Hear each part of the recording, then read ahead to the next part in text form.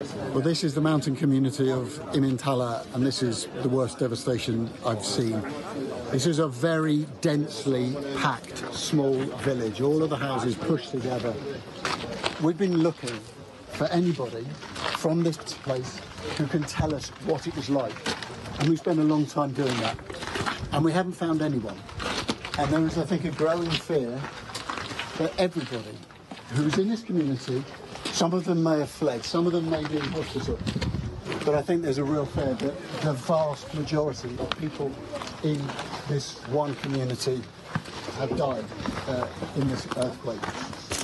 And we've seen first-hand testimony of, of just what that looks like because over there is the graveyard uh, that has been created, been curated by all of these people who've come to help out.